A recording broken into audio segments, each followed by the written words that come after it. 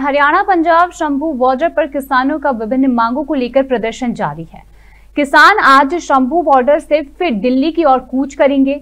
वहीं किसान नेता सरवन सिंह पंधेर के मुताबिक 101 किसानों का जत्था आज दोपहर 12 बजे दिल्ली के लिए कूच करने के लिए पहुँच चुका है।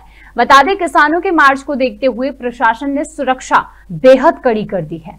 किसान अपनी विभिन्न मांगों को लेकर प्रदर्शन कर रहे हैं और इससे पहले शुक्रवार को किसानों ने दिल्ली कूच की कोशिश भी की थी। लेकिन पुलिस से झड़प के बाद किसान आगे नहीं बढ़ पाए थे और इसके बाद किसानों ने बैठक भी की थी।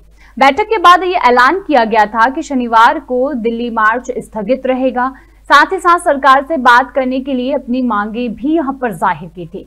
किसानों ने ये कहा था कि सरकार के पास शनिवार तक का समय है। अगर वह चाहे तो किसानों से बात करें, वरना किसान रविवार को दिल्ली कूच करेंगे।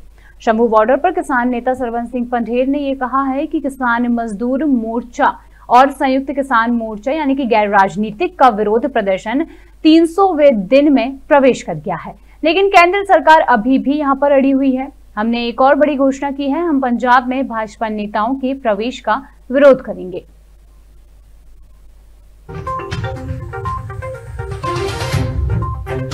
हाँ देखिए, हम कहते थे भी भगवंत मान सरकार केंद्र से मिली हुई है। और जिस तरह से मीडिया को रोका जा रहा है, ये बहुत निंदनीय है। मुख्यमंत्री साहब सामने आए, केजरीवाल साहब सामने आए और बताएँ हमें कि आप मीडिया को क्यों रोक रहे हैं? आप केंद्र से मिले हुए हैं, आप कहते हम किसान मजदूर के साथ हैं।